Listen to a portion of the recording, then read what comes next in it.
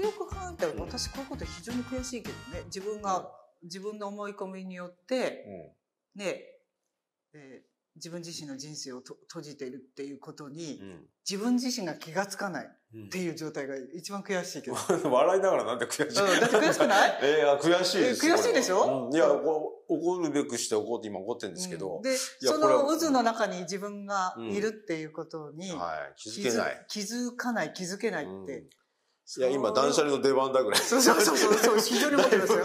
そうそうそう。そうそう。断捨離確かに、それはね、打ち崩すパワー持ってるなあるでしと思います。ょ？うん。なんか自分のこの思考がへばりついた者たちの中にいると、と思考がどんどんどんどんこうスパイラルでこうね、えー落ち込んでいくというか、うん。世界に埋没してくるような。だから二二つあるでしょ？自分の思い込みの証拠品が目の前にあるわけでしょ、うん。で、その証拠品はもう過去のね、異物残骸でしかないんだけど、それ、だからその、囚われの証拠品であるんだけど、その囚われの証拠品がうわーっとうん。ね、重空間にあるってことは、重空間自体もうん。閉塞してるわけじゃないですか。だから二重の閉塞感の中にいて、うん。さらにその重空間を取り巻く社会情勢も閉塞感にあるとしたら、うん。うんこどんどんこうなるに決まってるじゃないですか。確かにそうですよ。じゃあ。そこはやっぱり物も閉じ込めら。切り崩していきたくない？もでしょ？ちょっと笑顔が。やっぱり断捨離で、僕ね、本当にこの時代こそ、うんうんまあ今お忙しいのはもう証明されてますけど、断捨離という分かりやすい行動のね、えーまあ、なんていうかな、方法論の基づいて、これをやることによって何か心の内側とか、うん。社会を打開する、その一つのきっかけをね、みんな持ちたいっていうので、うん。なんか、今すごいお忙しいんだなっていう。これだって、無無血、無血革命です。革命家です。革命家なんですよねいやいや、地下運動っていうか地下運動。っていう。でも確実な方法ですよね。うん、本当にこう、思い込みの世界を、今こそちょっと打破していかないと、すぐに思い込んじゃいます、皆さん。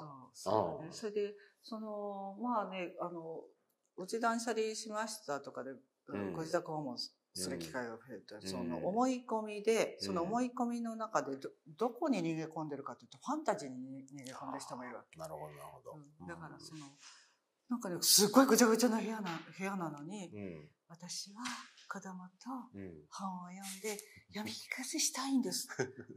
って言うわけ。どこでするのみたいな。っていう、そういうね、ギャップをね、感じるときバカみたいな。そうそう。どこでするその前に、この空間でしょって言うけど、もうそれは見えなくなってる。ああ、なるほどね。まあで、ファンタジーを一生懸命語ってきて、えーどこにこの空間にファンタジーがあるんだろうってね、もう愕然とするのが今抱えてる確かにね。案件ですね。あー案件。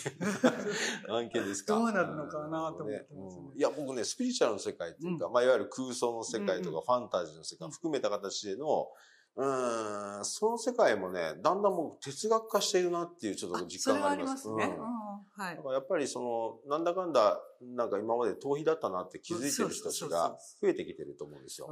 うんで、その、まあ、逃げてるってこと自体僕はあまりわ悪いことだと思わないんですけど、逃避っていう。一時、まあ、それリトこそ、リート的な。リトリート、退う避、退避必要でそうそうそう。すもんね。。で、まあ一旦ね、うん。それは何のためかというと生活にちゃんと戻ってくるためのい一時退避というか、それはスピリチュアルがそういう役割をしたとしても全然僕良かったと思いますけど、でもやっぱりこう、ここへ来てコロナという大きなこうプレッシャーの中で、それってすごくやっぱり逃げだねって思い始めてる人がすごく増えてきて、で、私た、私のその逃げは逃げで OK だとしたとして、なんでそちら目に見えない方向にやっぱり意識を持ったんだろうっていうふうに自分を見つめる人たちも増えてきてるんですよ。で、結果としてその思考がすごく哲学的になってるから、あの、これはこれで面白いなっていうふうに思ってるんですね。私がご縁があるね、そのスピリチュアルカウンセラーうん。ですね、スピリチュアルリーダーのな並木先生なんああ、か。まさにその通りですね。あ、うん本当に、やっぱ哲学なんでしょうね。哲学的で。で、断捨離おたけんでますもんね。うん。おたけんですか、うん。あ、えー、哲学でじゃあ結びついちゃってるっていう感じで。ね。それすごいありがたかったですね。あ、そうですか。うん。やっぱりいわゆる能力者とか、うん。見えちゃってる人たちとか、うん。HSP、エンパスって言われる人たちうん。に関しても、やっぱこう言ってることがだんだんね、じゃあ実存的に生きていくってなんだろうって、まあこのコロナ禍でやっぱりこう、ある種プレッシャーの中に生きてるからかもしれませんけど、うん。本当に生きるってなんだろうねっていうこと。